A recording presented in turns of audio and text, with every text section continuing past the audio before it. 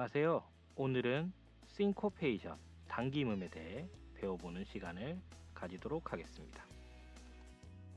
싱코페이션, 당김음의 방법에는 두 가지가 있습니다. 첫 번째로 anticipation이라고 해서 앞으로 당기는 방식이 있고요. 두 번째로 delay라고 해서 뒤로 밀어주는 방식이 있습니다. 그러면 anticipation을 먼저 살펴보도록 하겠습니다.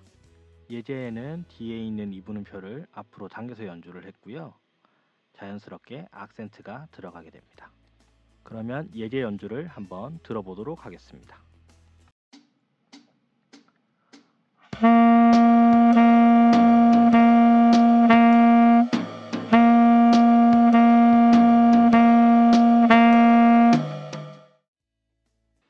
두 번째도 한번 보도록 할게요. 첫 음표는 둣하고 잡아줬고요. 두 번째 있는 마르카토. 그 다음에 세 번째 있는 이분음표가 이제 반박자 당겨져서 연주되었는데요.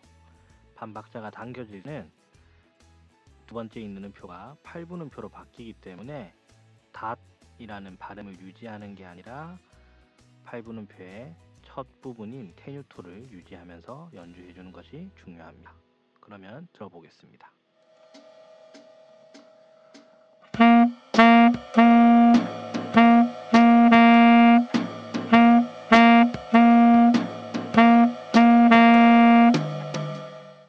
세 번째로 딜레이를 보도록 하겠습니다. 반박자를 밀어줘서 연주하는 방식인데요. 처음에 있는 이분음표를 이렇게 뒤로 밀어서 악센트를 만들어주고 앞에 8분 쉼표를 만들어줬습니다. 그리고 두 번째 있는 이분음표도 밀어도 상관없기 때문에 어, 지금은 예제 영상이라서 하나만 옮겨보도록 하고 요거를 들어보도록 하겠습니다.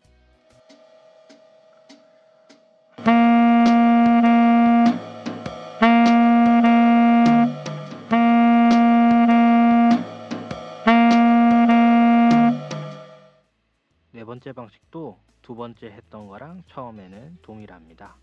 그리고 맨 처음에 있는 첫 박자를 뒤로 밀어주게 됐고요. 자 그런데 여기서 엇박이지만 악센트가 붙지 않는 이유는 다음 박자가 마르카토로 강하게 잡아주기 때문에 굳이 앞에 있는 박자까지 강하게 연주할 필요는 없습니다.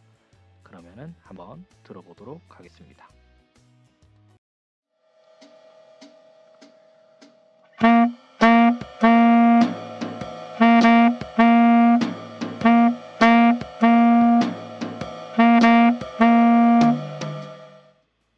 잠깐 설명하고 넘어갈 부분이 있는데요. 스윙에서 8분음표는 우리가 처음에 배운 듯이 셋 있다는 표에 앞에 두 개랑 뒤에 하나를 만들어 놓은 리듬입니다.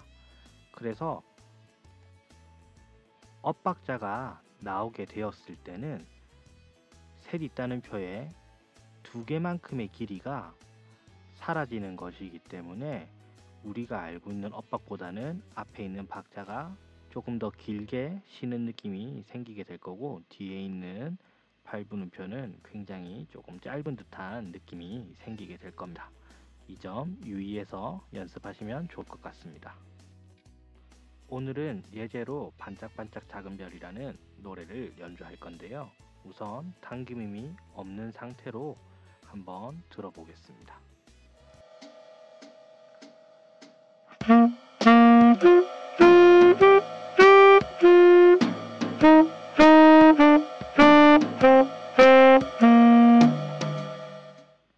그러면 이번에는 syncopation 중에 하나인 anticipation 앞으로 당김음을 이용해서 연습을 해볼 건데요. 우선 리듬만 연습해 보도록 하겠습니다.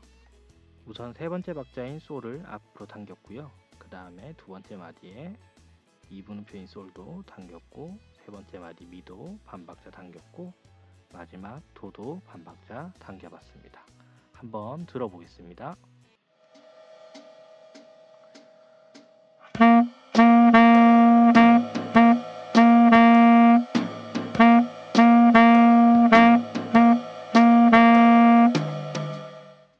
리듬이 우선적으로 연습이 되어 있지 않으면은 음까지 섞었을 때 아무래도 더 연주하기 힘들어질 것입니다. 그래서 리듬을 익혀놓고 연습해 보시기를 권해드립니다. 그러면 마지막에 있는 것도 한번 들어보겠습니다.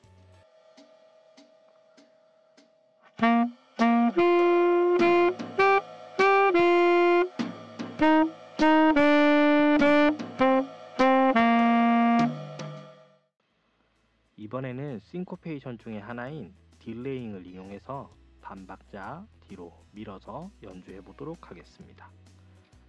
첫 번째 있는 박자와 세 번째 있는 박자를 반박, 반박자씩 뒤로 밀어서 연주하시면 됩니다. 한번 들어보겠습니다.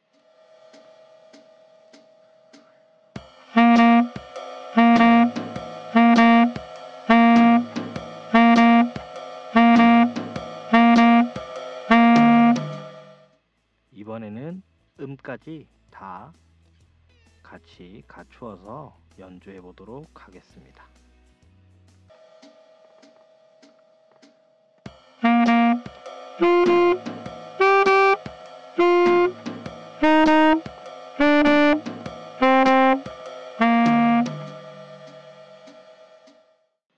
들어봤을 때 내가 알고 있던 것보다 좀 어색하게 들리셨나요? 그래서 이번에는 앞에 있던 것과 뒤에 있는 것들을 다양하게 섞어서 종합적으로 연주해 보도록 하겠습니다.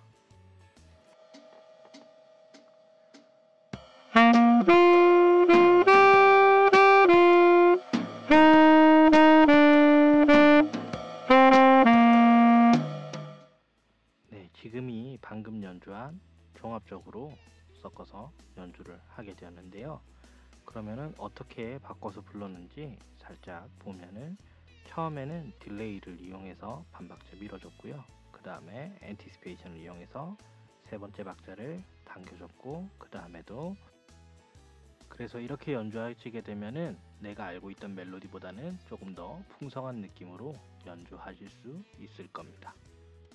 그리고 마지막은 개인적으로 연습을 해보시면 좋은데요. 우선 규칙에 있는 대로 강의에서 배운 아티큘레이션만을 이용하고 강의에서 배운 단기문만 이용해서 연습해 보시면 더욱 좋습니다. 연습하는 방법은 아주 간단합니다. 위에 그려져 있는 멜로디를 밑에 비어 있는 멜로디에 맞춰서 불어주시면 되는데요. 경우의 수가 다양하게 나올 수 있기 때문에 다양하게 연습해 보시면 좋을 것 같습니다. 오늘 강의는 여기서 끝이고요. 다음 강의에서 멜로디에 음을 더 추가해서 연주하는 방식을 배워보도록 하겠습니다. 감사합니다.